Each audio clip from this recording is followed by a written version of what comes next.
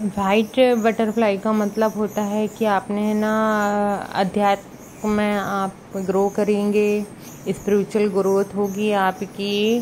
इसका मतलब यही होता है। जब भी आप वाइट बटरफ्लाई देखते हैं तो उसका मतलब अवेंडेंस है स्पिरिचुअल ग्रोथ है, आपके ना आध्यात्मिक में आपका बहुत ध्यान रहेगा और ये ना आपको ऊंचाइयों तक ले जाते हैं। ये, इस बटरफ्लाई का मतलब हमेशा ये होते हैं। कि आप अपने इनर पीस में आ चुके हैं।